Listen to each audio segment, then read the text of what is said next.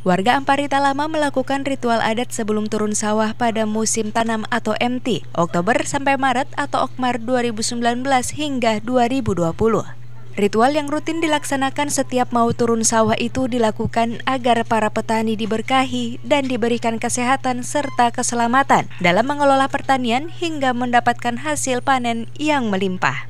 Acara tersebut dihadiri Bupati Sidrap Haji Dolah Mando, Sekretaris Dinas Pertanian Ketahanan Pangan dan Perikanan PKP 2 Sidrap Asri.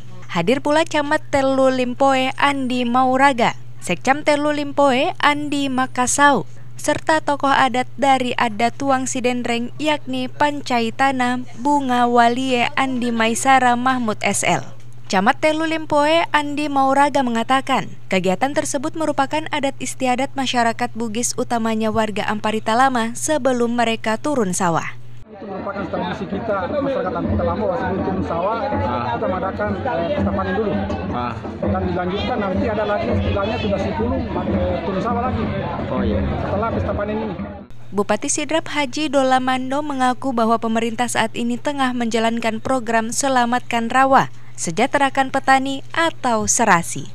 Warga setempat juga melakukan matojang yakni ayunan raksasa yang terbuat dari dua buah pohon kapuk yang tinggi. Kemudian tali ayunan dibuat dari rotan. Dari Sidrap, Ibrahim, jurnalis harian Parepos melaporkan.